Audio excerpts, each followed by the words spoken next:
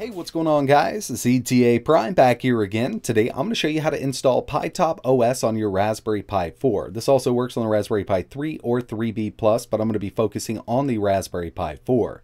Recently I did a review on the PiTop 4 and it's an awesome little machine, but it does come in at a pretty hefty price. But I had a lot of my viewers asking about PiTop OS, so in this video I'm going to show you how to install it on your Raspberry Pi 4. I'm also going to give you a quick demo at some of the things that this operating system has to offer. Now we're going to be flashing this to an SD card for a Raspberry Pi 4, and to flash it I'm going to be using Windows 10 and an application called Etcher. If you're on Mac or Linux, the same application will work for you. After using PiTop OS for a little while, I really like it. It's based on Debian. It's pretty much just like Raspberry Pi OS, but we have a totally different layout. And I really do think that this would be easier to use for younger children or people just starting out with Linux. But don't get me wrong, this is still Linux and it's very powerful. So if you're ready to get started here, let's move over to my Windows PC and get everything set up. Alright, so let's go ahead and get PiTop OS installed to our micro SD card. First thing you're going to need is the OS itself, or the image. All links for everything mentioned in this video will be in the description. We can download it here, and like I mentioned, this was specifically designed for their PiTop products like the PiTop 4 and their CEED monitor, but this will work on the Raspberry Pi 3, 3B Plus, and the Raspberry Pi 4. So we've got the download going here. It's 2.3 gigabytes. While this is downloading, let's go ahead and grab another application that's going to easily allow us to flash this to our micro SD card for a Raspberry Pi 4. We're going to be using Etcher. It's available for Windows, Mac, and Linux. We're going to go with the portable Windows version. So once Etcher is finished downloading and the PiTop OS image, I'm going to place these on my desktop for easy access. Okay, so everything's finished downloading. Over here we have Etcher and PiTop OS. This is the image we're going to be flashing to our micro SD card. Let's go ahead and start up Etcher. Now I've already inserted my micro SD card into my PC. I'm using a cheaper USB 3.0 micro SD card reader. From within Etcher, we're going to choose Flash from File. From here, we need to navigate to where we downloaded PiTop OS. I've just placed mine on my desktop. It might be in your downloads folder. We're going to choose the PiTop OS zip. Just double click. It's going to load it up in Etcher for us. Next thing we need to do is choose our micro SD card. By choosing select target. Now this is going to populate a list of different drives that are plugged into your PC. Make sure you're choosing the correct drive. I'm using a 64 gigabyte micro SD card with that USB reader. 100% positive that this is my SD. Select, and now all we need to do is flash. Etcher is going to go ahead and take care of everything for us. It's going to flash it to the SD card. Just be patient with it. Once it's finished, it'll prompt you. PiTop OS is now finished flashing to our SD card. All we need to do is close this down, remove our SD card from our PC, move over to our Raspberry Pi 4, insert the SD card, HDMI, keyboard, and our power. Alright, so real quick, I just have my Raspberry Pi 4 plugged into my HDMI, make sure my monitor's turned on, I also have my keyboard, and we're going to insert that fresh SD card that we just flashed PiTop OS to. Now it's time to plug in the power, and the first boot's going to take a lot longer than any of the others because it does need to get some stuff ready on that SD card, like expanding the file system.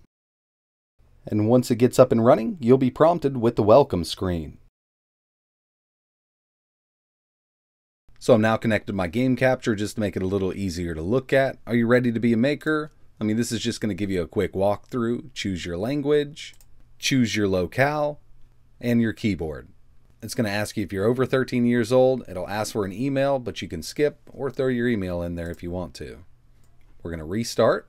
It's going to get everything ready for us. And once we're rebooted, it's just going to ask us to connect to the internet. You can click on the little Wi-Fi logo down here, or if you're using Ethernet, just plug it in. I'm going to go with Wi-Fi. It's going to prompt us to update. And that's it. We're now running PiTop OS on our Raspberry Pi 4. This is a very easily accessible operating system for younger people or people who are just starting out. Personally, I like the layout of it. It's still just as powerful as Raspbian, otherwise known as Raspberry Pi OS, and this does work on the Raspberry Pi 4 8GB model. As you can see, running the 8 gig here. We have a lot of great applications pre-installed, and this is mainly geared towards education and programming. So as you can see here, we have CodeLite, Geany, Mu or MU, Scratch 2, Scratch 3, Sonic Pi. And I've always wanted to make a video on this. This is actually available in Raspberry Pi OS. This allows you to easily create music on your Raspberry Pi through live coding. Under Office, we have the full LibreOffice suite. We have Chromium built in. You can install Firefox if you'd like. Personally, I would just stick with Chromium here on a Raspberry Pi. VLC player, GIMP, ImageMagick, Image Viewer, MT Paint, and under Games, we have Minecraft Pi and Python games. Keep in mind, the Minecraft Pi Edition isn't as feature rich as, let's say, Minecraft Pocket Edition or even Minecraft on your Xbox, PS3, or your PC, but it's still a fully playable version of Minecraft on your Raspberry Pi. Under System Tools, one thing I actually really like, especially for a beginner operating system, is the Check for Updates feature. We do not have to open up Terminal to check for all of our important updates. It has the built-in PiTop OS software updater, and if there's any updates available, we can download them and install them right here. Very easy to do. We also have Disk Usage Analyzer, Simple Task Manager, which we took a look at here. Give us our CPU usage and our RAM usage. I have that 8 gigabyte model, and I'm only using 246 megabytes. And there's also HTOP pre-installed. More feature rich. And as you can see, we have a lot more information here. I'm not sure how well this is coming up on my game capture. It looks a little dark on screen. But this gives you tons of information about what your Raspberry Pi is doing in the background for your CPU and memory.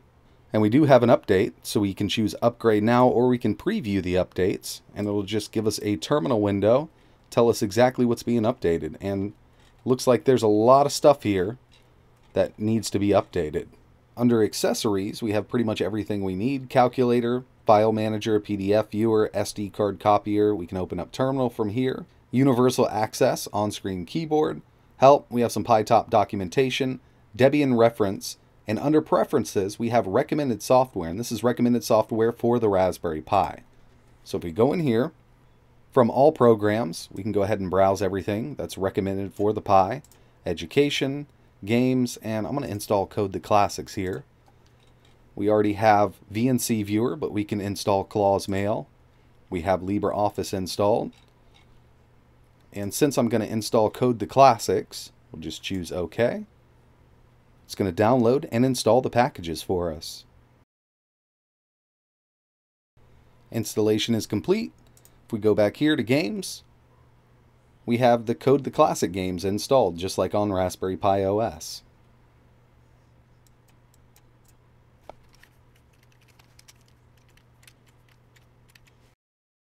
And if you do want to install some retro games, you can always install RetroPie right alongside here, so you'd have it up in the menu. Overall, I like it. It's a clean operating system, easy to navigate, and it's very reminiscent of other operating systems on the market right now because of the taskbar at the bottom. And I know to a lot of longtime users of Linux, this is not a big deal, but for somebody just picking up Linux, I think having this taskbar kind of laid out like a Windows machine really helps out. And since this is a full-fledged Linux operating system, we don't have to rely on the software stores. We can actually open up Terminal from here or press Ctrl-Alt-T on your keyboard. And you can install any other Linux application that's compatible with ARM, like let's say OpenShot, a full-fledged video editor that does run on the Raspberry Pi 4. So you'll just type in sudo apt install OpenShot. And I personally really like this video editor and I specifically use this on single board computers like the Raspberry Pi 4. And we'll let this install. And once it's installed, we can go back to our applications, sound and video, and we have OpenShot. Now I do have to say that there is a little bit of a learning curve here if you're just starting out, and running this on the Raspberry Pi isn't going to be optimal. It does export video. You can edit, you can add different effects in here, but it's going to take a little time to export because we have a very low powered ARM single board computer. But it will work and it will get you by. If you want to do home movies with this, it'll work perfectly. So yeah, that's pretty much it for this video. I really appreciate you watching and hope you at least try out PiTop OS. It's actually a really nice little Debian-based operating system for the Raspberry Pi. It's 32-bit right now. Hopefully they do release a 64-bit version for the new Raspberry Pi 8GB model. But like it sits right now, it actually works pretty great on the Raspberry Pi 4. I really appreciate you watching. If you have any questions, let me know in the comments below. All links for everything mentioned in this video are in the description. And like always, thanks for watching.